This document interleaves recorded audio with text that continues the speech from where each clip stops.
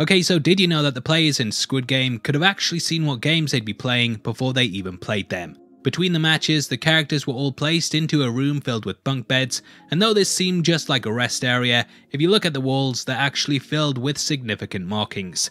As the beds get slowly stripped away, it's revealed that these paintings are actually all of the games that the players would be playing throughout the tournament. First is Red Light Green Light, there's also the Honeycomb game, Tug of War, the Glass Hopping one, the Three at the Table, and lastly the titular Squid Game. The series itself is filled with clues to the eventual reveals, and this is also the case with the player who's behind the entire thing. It's absolutely mind-blowing and throughout this video we're going to be breaking it all down, but I just want to give a huge spoiler alert for the series. If you haven't checked it out then this is your chance to quit playing, but if you want to continue then I hope you thumbs up the video and also subscribe to the channel. With out the way, thank you for clicking this, now let's get into Squid Game. Okay, so at the end of Squid Game, we learn that it was Ilnam all along. The final episode reveals that he invented the games as a form of entertainment for him and his rich buddies who had become bored with life. We learn that he had actually got involved in the one that we see in the show because he was dying and wanted a final bit of fun in his life before it was too late. The ending was absolutely incredible and the scene had Ji-hun saying goodbye to the character as he lay on his deathbed. This last meeting actually reflected their first one, in which he too encountered the character as he sat in a bed. It was a pretty big twist that pulled the rug out from under your feet, but eagle-eyed viewers might have spotted early on that there were several clues pointing towards his true identity. Now the first one is that he is number one, the very first player. If we look at the subtext of the series, Ji-hun is the final number, and throughout we watch as he very much works his way to first place, aka Ilnam. In the final episode, he's left as number one, he inherits a large portion of the character's fortune, and comes face to face with him in one of the final scenes. One is symbolic on a number of levels, and because it's the first place, it also hints to us that Ilnam is number one and that he's the one controlling everything. In episode 5, Hwang Jun-ho sneaks through the compound, and he eventually finds a storage room with files on all of the games that have happened over the decades. Upon opening the 2021, the first player there is actually number 2, and Ilnam's profile is completely missing. There is no file for number 1 because he doesn't need or want to keep a record for himself. The other players in the game also somewhat hint towards us that something is off with Ilnam, and though it's not too obvious, when you really think about it, he wouldn't be someone that would be selected for the process. Everyone else in the Squid Game is roughly the same age, whereas he's extremely elderly. He's also dying of a brain tumour, and thus even if he did win the life-changing money, it wouldn't last that long. Though he gives his reasons as to why he wants it, from what we know about the games and the players that have been selected in the past, they're all roughly between 20 and 40 and he's a complete outlier in all of this. Now the games themselves are also major giveaways too. Throughout the series we watched as he said they were all things that he'd played as a child, and in retrospect it becomes blatantly obvious that he selected them himself because they're what he knows. On repeat viewings, it's clear that each of them are something that he not only played as a kid, but they're also things that he's very very good at. Now the first thing they play is red light green light. Whilst the other players are absolutely terrified for their lives, he gleefully struts about whilst the Terminator's back is turned, and even stops before it looks back to face the crowd. He knows all of the lyrics to the song that the machine sings, and therefore knows to stop in advance before it ends and turns back around.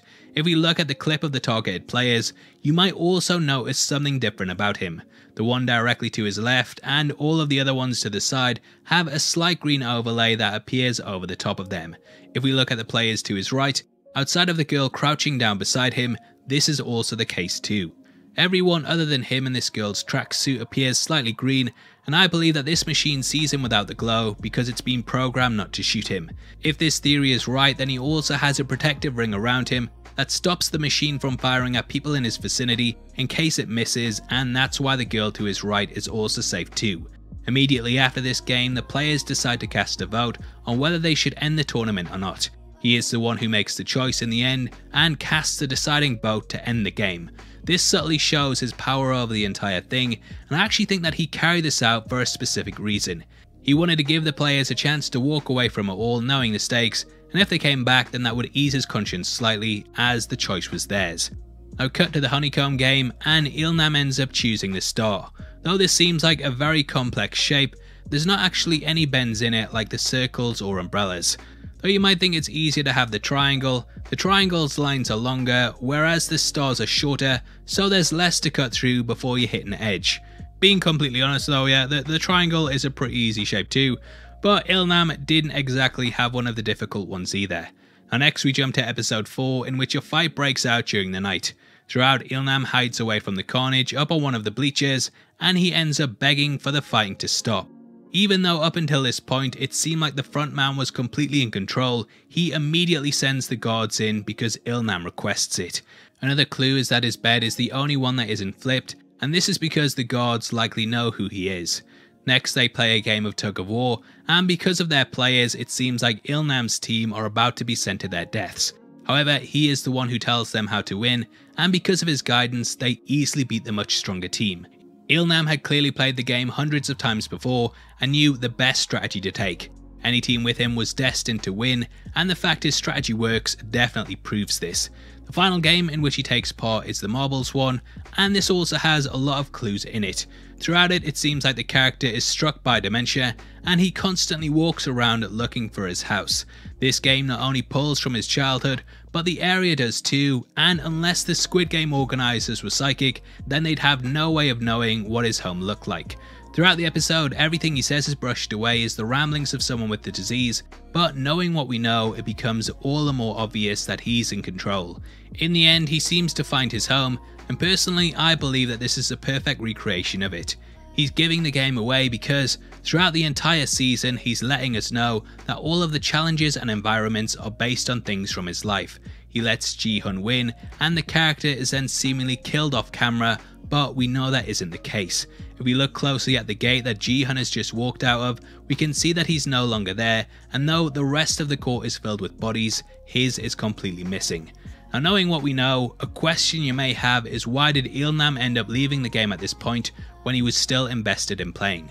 Well, the next game is the Deadly Hopscotch one, and this is by far the most unpredictable of the lot.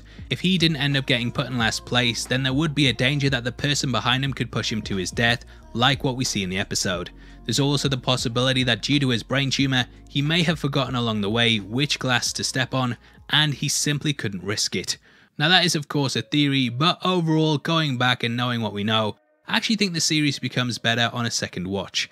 Now obviously I'd love to hear if you spotted any other ones below, and if this is your first time here, then I hope you enjoyed your trip to the Heavy Spoilers show. We are running a competition right now and giving away 3 copies of the Zack Snyder DC trilogy, and all you have to do to be on the chance of winning is like the video, make sure you subscribe with notifications on, and drop a comment below with your thoughts on the video. We pick the comments at random at the end of the month, and the winners of the last one are on screen right now, so if that's you, then message me on Twitter at Heavy Spoilers. If you want something else to watch, then make sure you check out our breakdown of Squid Game, which will be linked on screen right now. We've also done one for Midnight Mass, and both of those series are really, really good. So yeah, hopefully I see you over there right after this.